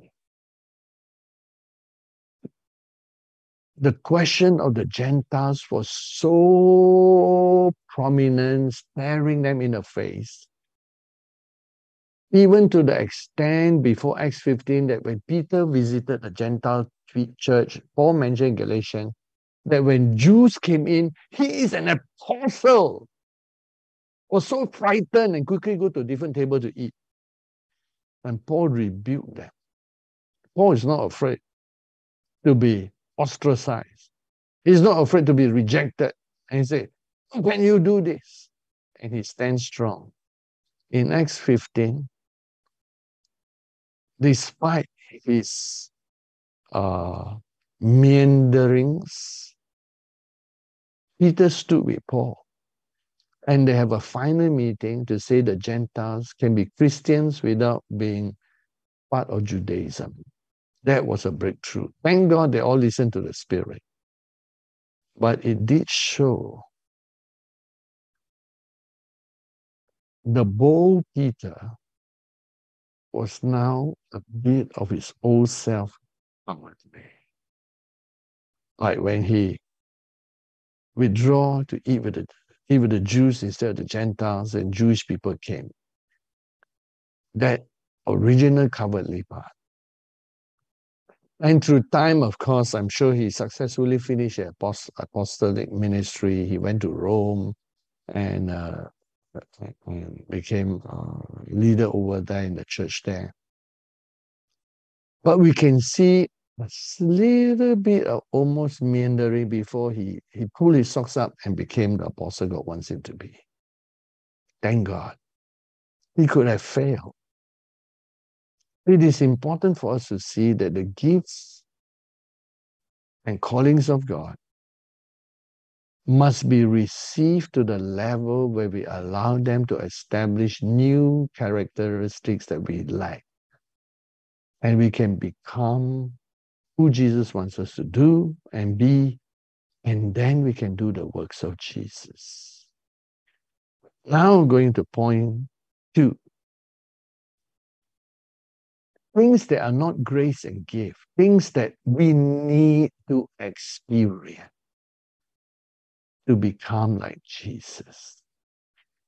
You can see in the book of First John, uh, John chapter one, John chapter one of First John.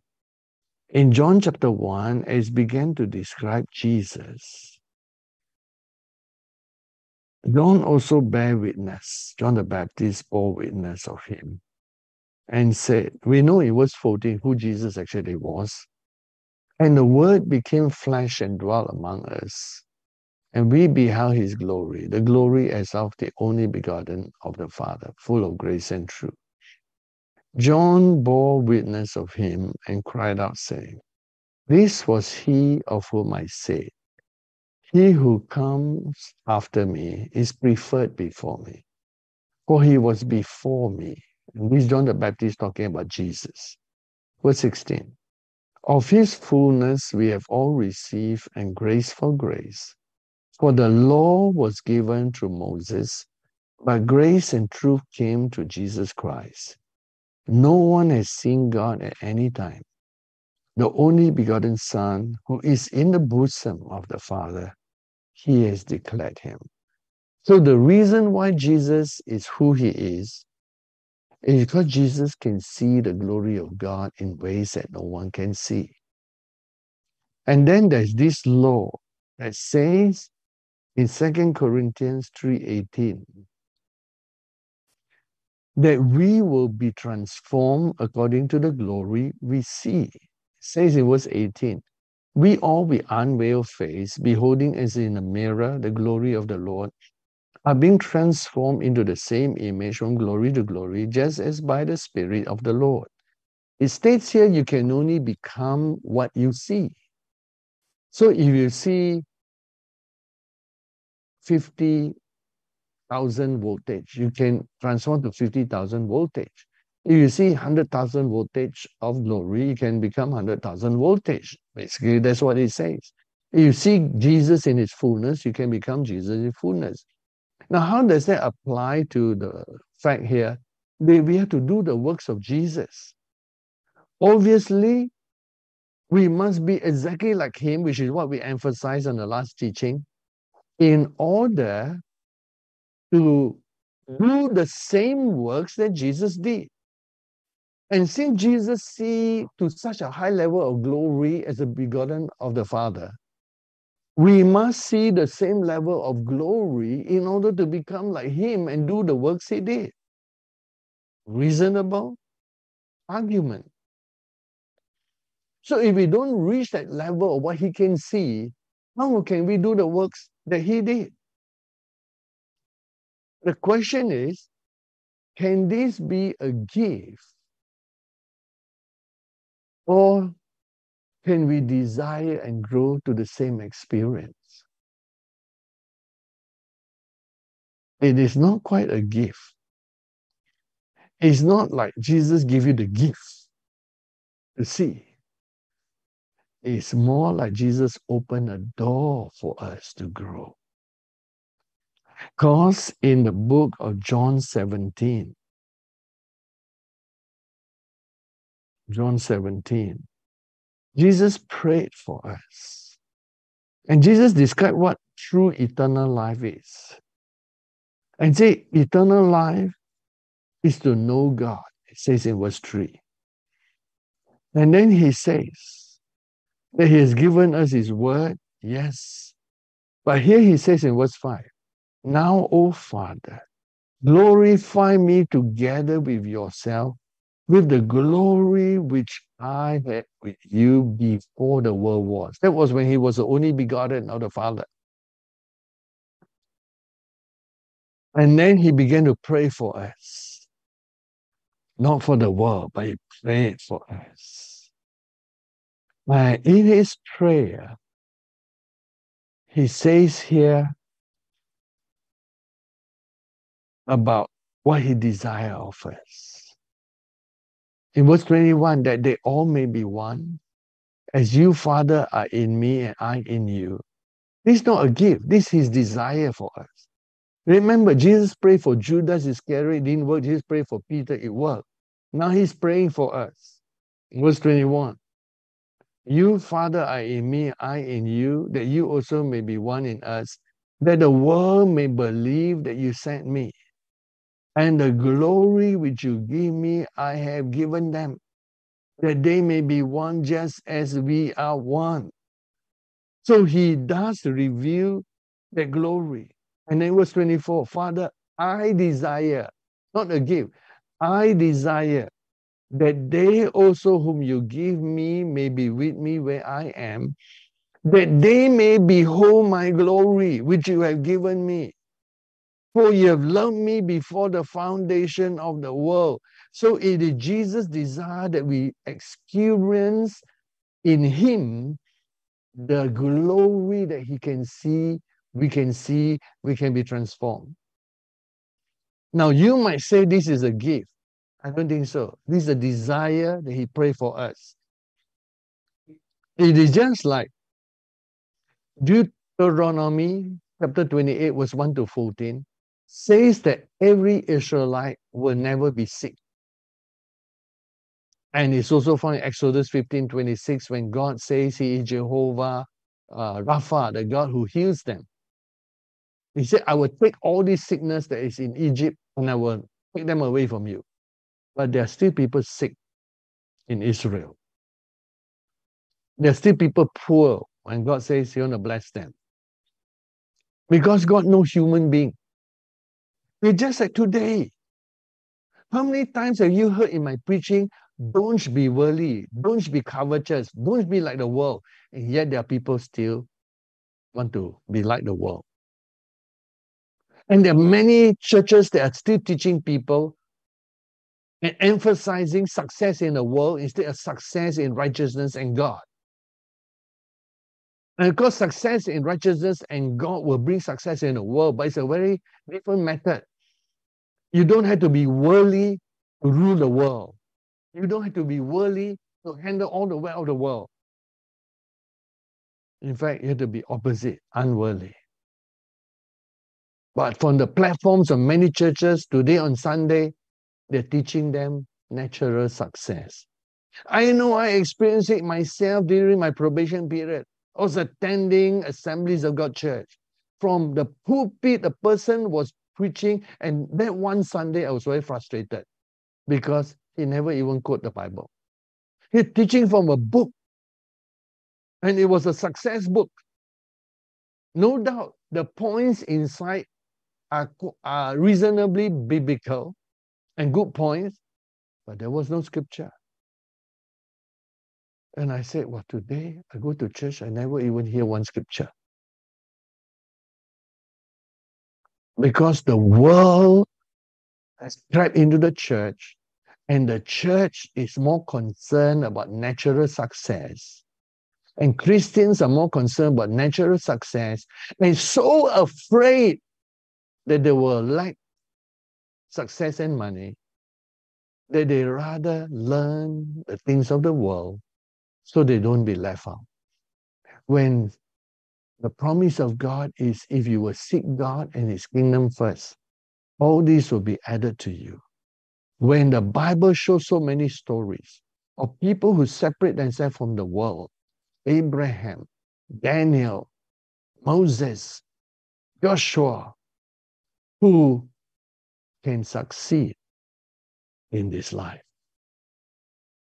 And this is not enough to motivate them to love God. Every lover of God in the Bible has been blessed financially, spiritually, and naturally. So why are people afraid of giving up the world? Because there's not enough good teaching.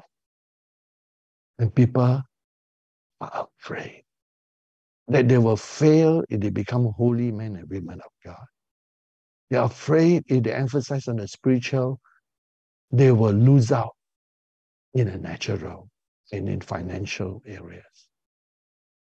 Oh, people need to know that when you are close to God, God is the true controller of all the wealth of the world and he can bless you as a king in him more than kings and presidents on this earth. So here, Jesus promise and desire that we can see the Father's glory as He has. But how many people desire that? How many Christians desire that? Even the Bible says in First Corinthians 2, Eye has not seen, not yet heard the things which God has prepared for those who love Him. Yet, why do so many Christians don't love God more?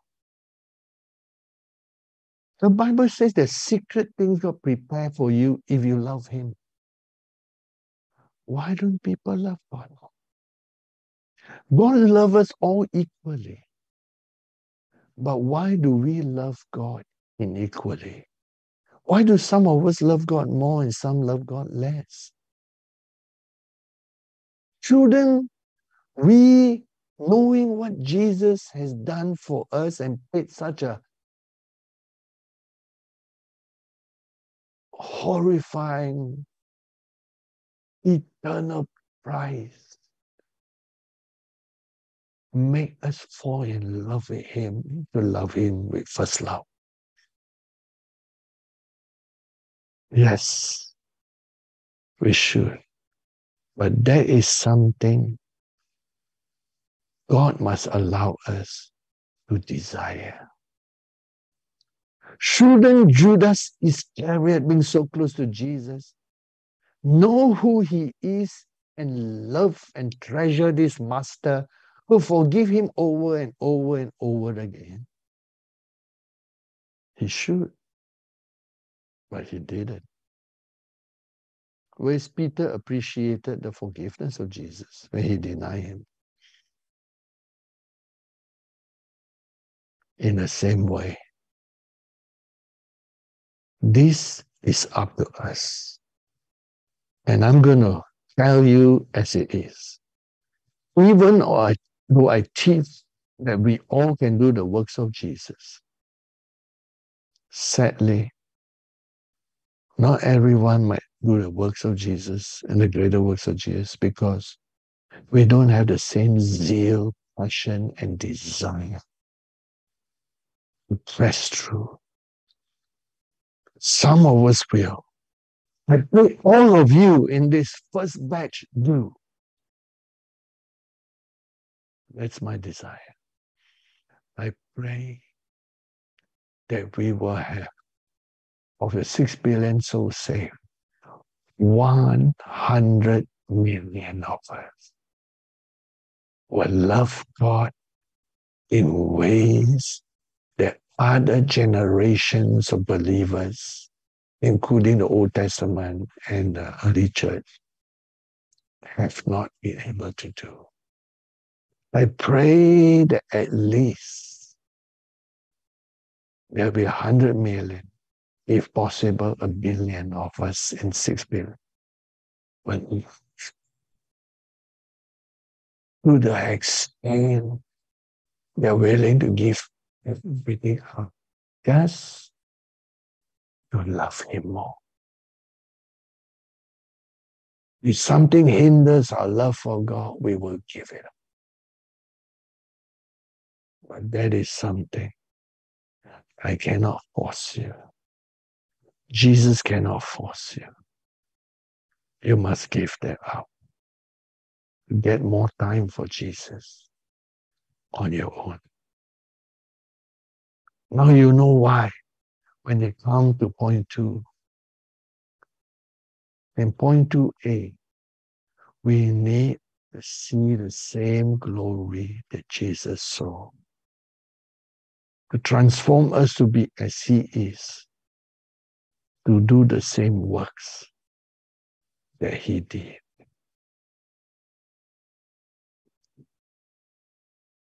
And in point two B.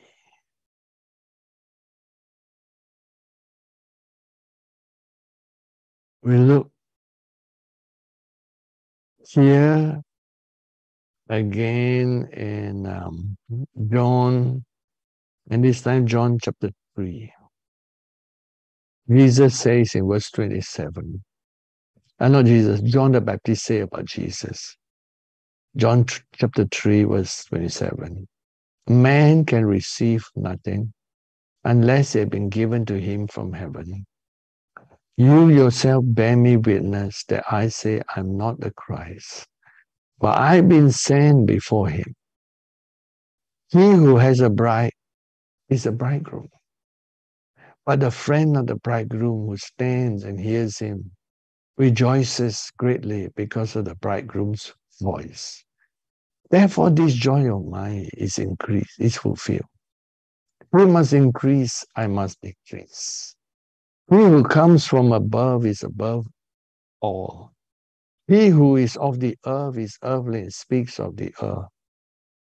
He who comes from heaven is above all, and what he has seen and heard, that he testifies, and no one receives his testimony. He who has received his testimony has certified that God is true. For him whom God has sent speaks the words of God.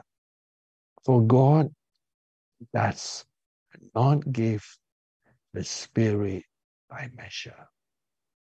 The Father loves the Son, has given him all things into his hand.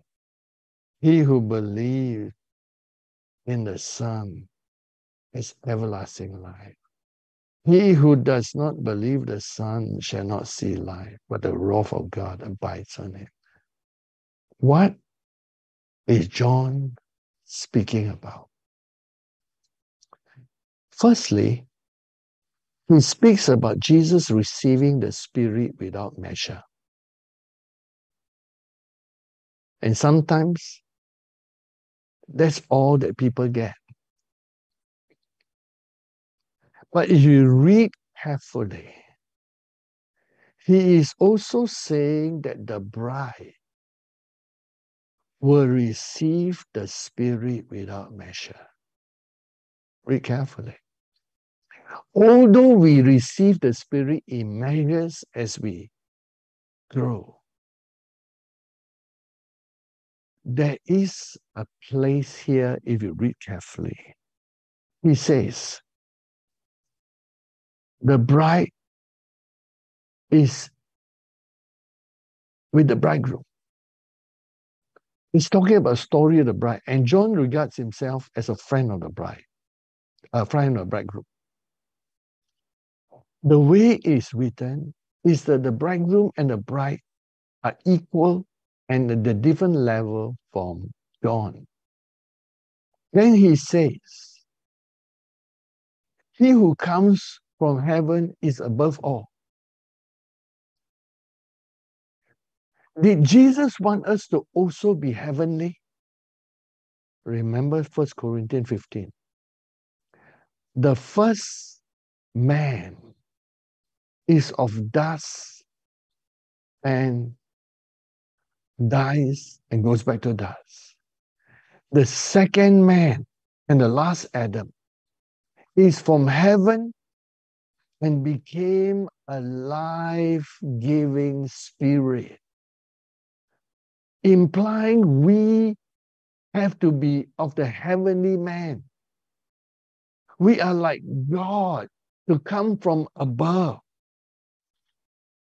Then he says, He whom God has sent, speak the words of God, for God does not give the Spirit by measure. That's the full Greek word. He received the Spirit without measure. I know that in reality, according to Romans 12, we receive a measure of faith. But a measure of faith is different from measureless spirit. Since the day of Pentecost, it has been the unspoken will of God that the Spirit comes without measure. Didn't you read the prophecy? All the Old Testament has measure. But when the Spirit comes, He pours his spirit. It's called the outpouring. It is the will of God that the bride of Jesus Christ, whom Jesus said, As the Father sent me, so I send you. The word, as the Father says, I send you, is the same measure. And I will conclude point 2BS. We have the potential to receive as we grow in Christ to receive the Spirit without measure. That's why it's under second point. The gifts start us off, but there's a second part called experience. And even Ephesians 4 point to the measureless part. As we all reach, the gifts are just the beginning not the end. Why do we always make the beginning the end when the beginning is the beginning and the end is the end? You know, sometimes we compose a song, the beginning of the song is different from the ending. The ending has everything. So when God composed the song of the ages, the bride of Christ, and who we are to become, the ending is more powerful than the beginning the latter rain is greater than the former rain. In verse 11 and 12, he gave apostles, prophets, evangelists, pastors, teachers to equip the church, to bring something into the church.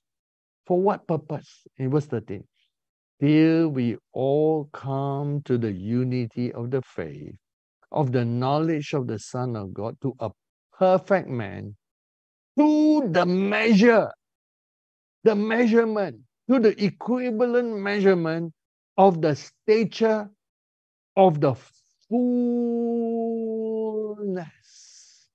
of Christ. There you have it. Today I show to you that ever since the day of Pentecost, God has desired that there be a man or woman who represents Christ, or collectively us together represent Christ, to have the Spirit without measure. Now it's up to us to pursue that. That is a promise given to us. You can also argue theologically from the bridegroom and the bride. Does not the bride receive everything from the bridegroom? But we call the as and joint heirs. You know the title about us, right? The scriptures that say we are as and joint heirs with Christ. Now, if we are heir and joint heirs with Christ, can you be an heir and joint heirs with Christ and receive anything less? Theologically cannot. It has to be equal at the minimum. So if Jesus has a spirit without measure, the potential for you and I is to have the same. Like I said, at first I trembled when I realized that in the end time I have to enter all fivefold ministries, not just three. And then I realized the vision that God has for the end times is beyond anything that any minister, man or woman of God has ever seen possible for the end time church. Our best theologians could not conceive of what the end time can be like. The best among us of our forefathers of faith could not conceive what we can become in the end time. Finally, the end time move has come. And finally, we can see clearly. We can be exactly like Jesus. Oh, what a revelation. If he has a spirit without measure, so can we. May this second point cause you to love Jesus more than everything in this life. Because there are only two ways you can be like Jesus. One is through his grace gifting that transform us. The other is by our growth to experience everything that is necessary to experience that Jesus went through so that we can go through and receive the same. If you ask, can I be baptized with the same baptism of Jesus? My answer is potentially yes. But it's up to whether how willing you are to go through everything that's necessary, to experience everything that Jesus had, to receive all that Jesus had. Some things receive by impartation, but some things I receive by experience. And as you experience and qualify yourself, you can become like Jesus. Point one is impartation through gifts. Point two is receiving by experiencing all that he experienced and paying the price for them. Sometimes paying the price can be difficult, like the rich young man was asked to be a disciple of Jesus. Jesus says, Sell all you have and come and follow me. He could not do it. Today, he regrets it in eternity. And Peter says, Master, we have left all and follow you. We left all our fishing boats and everything. And Jesus blessed them. Jesus said, You've given a hundredfold, you will receive a hundredfold. Surrender a hundredfold, you receive a hundredfold. In this life and in the next life. Oh, blessed be to have absolute surrender. All to Jesus. I surrender. May that be 24 hours in our life. In Jesus' name. Father, hear our hearts, not just our words. Hear our thoughts, not just our words. Hear our heart cry and desire to be like you and cause us all to reach the fullness of Jesus so that we can do the works of Jesus. The earth and this world is crying for God. And we are those sent to represent our God. And we want to go out to show forth the message of God, both in our words and in our lives. Tell the world, there is a God. We represent Him. Return back to the God of your Creator. His name is Jesus and do signs and wonders to demonstrate that God is calling his people back. his creation back to him. All creation is groaning for this day. And we are sent by you to this planet to bring forth a group of human beings to be presented to the Father as the bride of Christ. In these days of the temples, let your kingdom be established. Let your will be done as it is in heaven. Let the Holy Spirit come in all the outpouring fullness to establish the bride of Christ, who is worthy and equal, joint heirs and heirs with Jesus, our bridegroom, enter into the place that Jesus wants us to behold the glory of God as the only begotten. Oh, the bride, New Jerusalem. To be in the very place where Jesus is. Nothing less, because this is the fullness of what Jesus paid the price for. With his precious life and precious blood, he laid all for us to become exactly like him. And he can look at us and see a perfect reflection of himself. And we are the glorious bride without blemish, spot, or wrinkle.